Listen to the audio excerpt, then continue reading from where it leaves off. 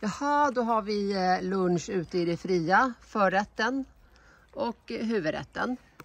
Och sen så har vi kallat in eh, Moa och Lisa som jobbar lite grann med socialisering utav valparna. De lider inte så fruktansvärt av det. Tycker faktiskt att valparna är riktigt, riktigt gulliga. Så det är mycket så här, mm, vad söt och gulligt. Och det är viktigt att valparna får träffa nya människor. Och Lisa är helt ny för valparna och de har kommit fram direkt och tassar runt här. Så det här är en viktig del i valparnas sociala utveckling. Och, eh, och där, nu, titta här. Vi påbörjar också rumsrenhetsträningen. Lära oss att kissa ute. Eh, modiga valpar kissar ute. Eh, för det är så att när man... Oj, här är det någon som hugger in på valparnas mat. När man kissar ute så talar man om att man finns och då är man ganska modig. Ehm, så det är en jätteviktig och väldigt spännande period som vi går in i nu när den här socialiseringsfasen pågår och den pågår ju ända fram till vecka 12. Så det börjar här hemma i kennen med att vi introducerar nya platser, människor. Idag har Lisa blivit introducerad. Eh, Lisa kommer att återkomma och hänga med valparna och Moas andra kompisar kommer att hänga lite grann här också.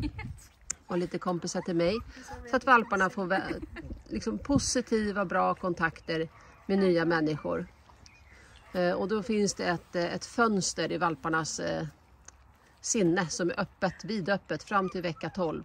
Och då liksom är det jätteviktigt att man introducerar nya saker så att de vänjer sig och liksom vet att det här är positivt, det här är bra. och nu börjar den här miljön bli lite trygg och van för dem.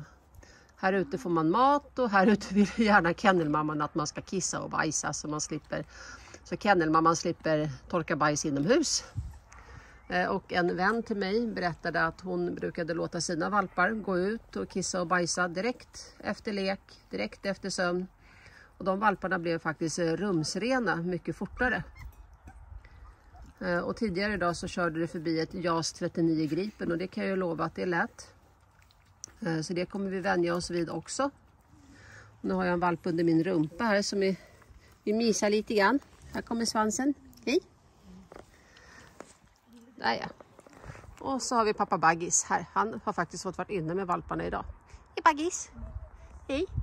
Hur mysigt? Mm.